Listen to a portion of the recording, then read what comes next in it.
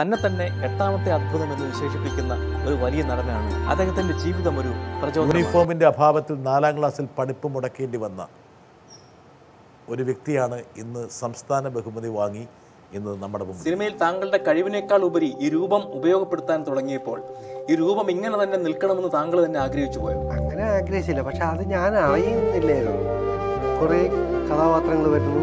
അപ്പോൾ അതൊക്കെ കുറേ നല്ല എഴുത്തുകാരൊക്കെ ഉള്ള ഡയറക്ടറൊക്കെ ഉള്ള സമയത്തായിരുന്നുകൊണ്ട് എനിക്ക് അധികം പണിയൊന്നുമില്ല. അവർക്ക് ഞാൻ ആദ്യം ഞാൻ സിനിമയ്ക്ക് വസ്ത്രാലങ്കാരം സുരേന്ദ്രൻ എന്നൊക്കെ തന്നെ ഒരു ഇത് വരുമ്പോഴത്തേക്കും ആർക്കും അറിയില്ല.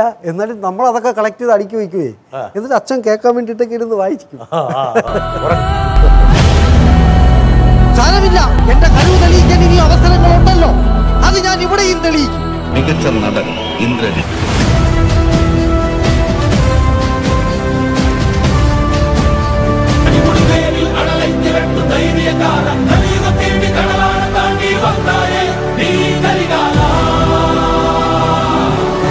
ലോകത്തിലെ ഏറ്റവും മികച്ച അഞ്ച് ഫിലിം ഫെസ്റ്റിവലുകൾ എടുത്താൽ അതിലൊന്നെന്ന വിശേഷണമുള്ള ഷാങ്ഹായി ഇന്റർനാഷണൽ ഫിലിം ഫെസ്റ്റിവലിൽ റെഡ് കാർപ്പറ്റ് വെൽക്കം കിട്ടിയത് മറ്റാർക്കുമില്ല. നമ്മുടെ പ്രിയപ്പെട്ട ഇന്ദ്രൻസിനാണ് അതിൽ തിരഞ്ഞെടുക്കപ്പെട്ട പതിനാല് ചിത്രങ്ങളിൽ ഇന്ത്യയെ പ്രതിനിധീകരിച്ച് പ്രദർശിപ്പിച്ച ഒരേയൊരു ചിത്രം ഇന്ന് മലയാള മണ്ണിൽ നിന്നുള്ള സിനിമ. ഇന്ദ്രൻസ് നായകനായ വെയിൽ മരങ്ങൾ. ഒരു ആറുമാസം കൊണ്ട് ബട്ടൺ ഹോളൊക്കെ വരിഞ്ഞാൽ പിന്നെ മിഷനിലേക്ക് തയ്ക്കാൻ കൊടുക്കും. ഞാൻ മൂന്നര വർഷം അങ്ങനെ ഇരുന്നു. അതിന് കാൽ നീളം വെക്കണ്ടേ? മിഷനിൽ കേറാറുള്ള കയറാറുള്ള കാലം. മികച്ച വ്യക്തിത്വത്തിന് എല്ലാ വർഷവും ഒരു അവാർഡ് ഉണ്ടായിരുന്നുവെങ്കിൽ ഒരുപാട് പ്രാവശ്യം ഒരു തുന്നൽ യന്ത്രത്തിന്റെ മുന്നിൽ നിന്നത് സംസ്ഥാനത്തെ മികച്ച നടനിലേക്കുള്ള ഒരു യാത്രയിൽ അദ്ദേഹം പിന്നിട്ട ദൂരങ്ങൾ ഒരുപാടാണ്.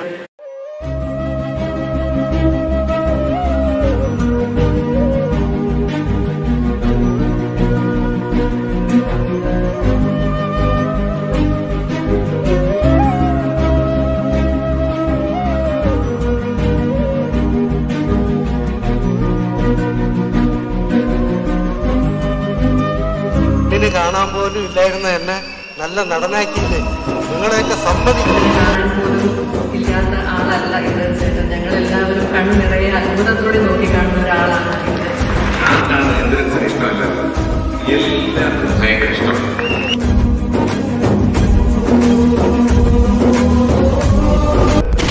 അത്രയ്ക്കൊന്നും ആയില്ല എന്ന് വീണ്ടും വീണ്ടും പറയുന്നുണ്ട്. അത്രയ്ക്കൊക്കെ ആകുക എന്ന് പറഞ്ഞാൽ എന്താ താങ്കൾ ഉദ്ദേശിക്കുന്നത് ഇന്ദ്രൻസേട്ടൻ എന്ന് പറയുന്ന വ്യക്തിയെ കാസ്റ്റ് ചെയ്യുന്നതിന് അങ്ങനെ ഇതുണ്ട്. പക്ഷെ ഈ റോളിന് ഏറ്റവും ഇന്ന് നിലവിലുള്ള ആക്ടേഴ്സിൽ ഞങ്ങൾക്ക് ഏറ്റവും ആപ്റ്റ് എന്ന് തോന്നിയ എല്ലാവരും ഒരേപോലെ സംസാരിച്ച ഒരു ക്യാരക്ടർ തന്നെയാണ് ഇത്രയും നാളെ ഞാൻ അന്വേഷിച്ചു നടന്ന. എന്റെ ദൈവത്തെ കാണാൻ.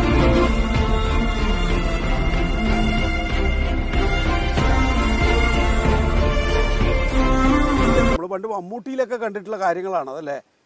ഒരു ഒരു പടത്തിൽ മമ്മൂട്ടി ഫുൾ താടിയായിരിക്കും വികൃതമായിട്ടായിരിക്കും വരിക. വേറൊന്നിൽ ഭയങ്കര ഗ്ലാമറസ് വേഷത്തിൽ എന്ന നിലയിലൊക്കെ ഇപ്പോൾ ഇന്ദ്രൻസേട്ടൻ എത്തിയില്ലേ? പക്ഷെ അതൊക്കെ കുഞ്ഞു കുഞ്ഞു ക്യാരക്ടർ അത് പെട്ടെന്ന് ഇത്തിരി ഇത്തിരി ചെയ്ത് പോകാൻ പറ്റും. കുഞ്ഞു ഇപ്പം മമ്മൂട്ടിക്കല്ല അവാർഡ് കിട്ടുന്നത്. രണ്ടായിരത്തി പതിനെട്ടിലെ മികച്ച നടനാണ് എന്റെ മുമ്പിൽ ഇങ്ങനെ ഇരിക്കുന്നത്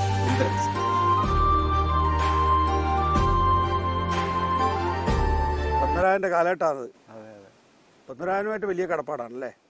ഒരു തെരഞ്ഞെടുപ്പിൽ മത്സരിക്കണമെന്നും മന്ത്രിയാകണമെന്നും ആഗ്രഹമില്ല അതൊക്കെ വലിയ പണിയാ.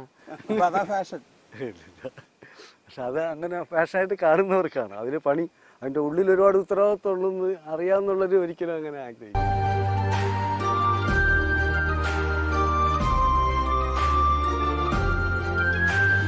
ഒരു ഐഡിയോളജി മമ്മൂക്ക പറഞ്ഞ രാഷ്ട്രീയം തന്നെയാ. മമ്മൂക്ക പറയുന്ന പോലെ തന്നെയാ.